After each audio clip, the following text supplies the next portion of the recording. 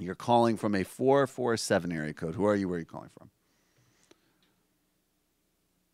Um, this is Erin calling from Edinburgh, Scotland. Hey, Erin, what's going on? Hey, so um, I actually live in Montana. I'm just visiting Scotland, but I just Cool. wanted to make a couple points about the Heath Mello thing, but just as kind of an opportunity to say something about how we do uh, like pro-choice and abortion politics in conservative parts of the country because Oh, that's yeah, where yeah. I've always lived. Yeah, yeah, yeah. Go.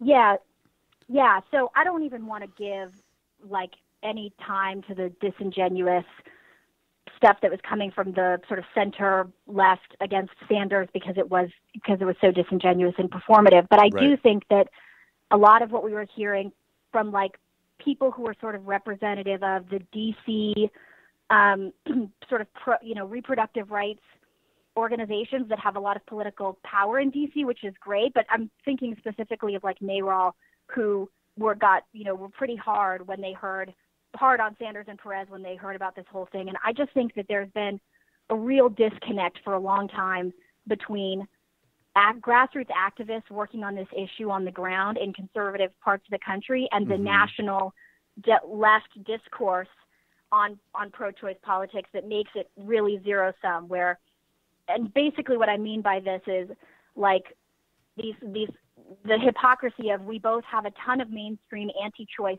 Democrats in the Yep. Democratic Party and Totally. have forever. That's been a problem. Totally. And at the same time, any any conversation that those of us in conservative parts of the country try to have about talking about a making the pro-choice argument from a perspective with with voters from a perspective of you know government overreach, government intrusion, Mhm. and from the perspective of you know pro-choice politics is the best way to support a personal pro-life ethic for all of these reasons. Like this is how you literally reduce Right. the number of abortions. Yeah, yeah, yeah. We get a lot of pushback from national sort of organizations that want to make it sort of exclusively about about women's autonomy. We shouldn't have to apologize Right. for having abortion. Right. Right, And right, right. I mean, of course, I personally feel that way, but that's not how you win people over. See, this is where I think this is and really I just important. wanted to, You know, finish your thought. I just, yeah, go ahead. yeah, go ahead. Well, all I was going to say is that, the, and then the one other thing that I would say, and I know I'm, I'm, I'm, I imagine I'm talking to somebody who's like-minded on this issue, is that Yes. and I think James Thompson in Kansas was a great example of this. Part of the reason that Dems have run Republican light candidates in conservative parts of the country, as in candidates who are also pro life and also anti LGBT and anti civil rights, is because they don't run economic populist candidates. Yeah.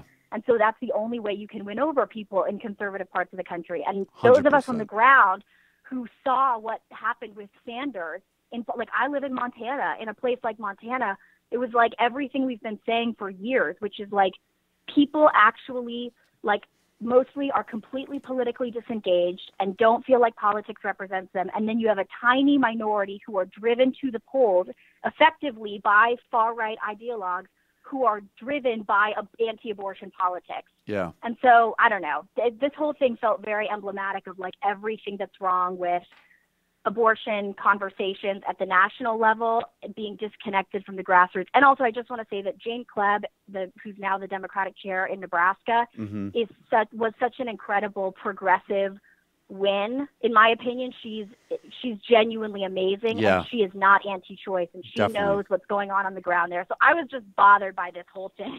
Yeah, no, I think you're 100% right. And I guess that's what I'm trying to kind of get to is I think that we need to really, you know, I'm not willing to, on a policy level, just say, like, oh, okay, whatever, you know, abortion and women's health is secondary. But I think where you're totally right and where there does need to be the flexibility and not just people from certain parts of the country injecting themselves elsewhere is the way it's talked about and how it's framed. Now, you know, on at the same time, I you know I don't like when Hillary Clinton said things like you know it's a tragedy and stuff like that. That might be a little too far rhetorically for Yeah. me, but I do think that going out and campaigning and telling people, you know, making it palatable and relevant in a local context is like, yeah, you got to do that. You just can't sacrifice the actual policy. But I I appreciate the call. Thank you so much. yeah, thanks. Right. Thank you.